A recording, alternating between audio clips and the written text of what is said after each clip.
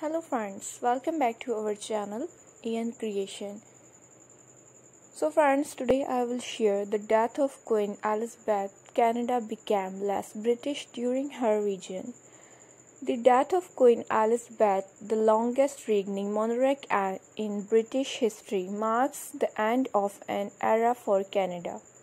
Elizabeth witnessed the opening of the St. Lawrence Seaway in 1959, the expansion of Canada's social programs in the 1960s, the Quebec referendums in 1980 and in 1995 free trade agreements with the United States and father and son prime minister in 1982.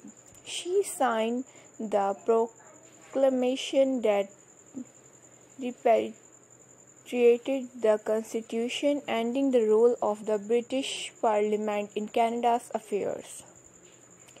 During her long reign, Canada became dramatically less Anglophone and Anglophile. Nearly half of Canadians were of British ancestry when she assumed the throne in 1952, but that decreased to one third in 2016 and continues to decline.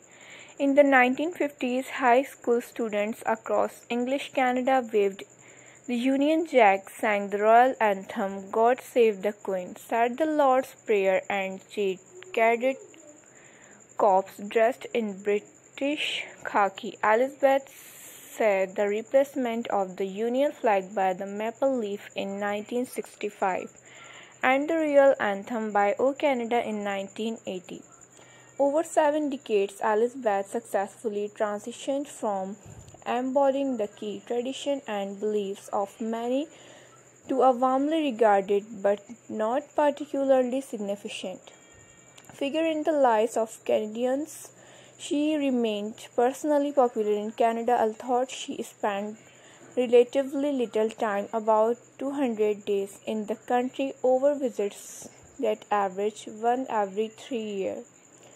Let's go inshallah we will meet again in the next video. Thanks for watching. Don't forget to subscribe. Take care. Stay with me. We'll remember in prayer and bye.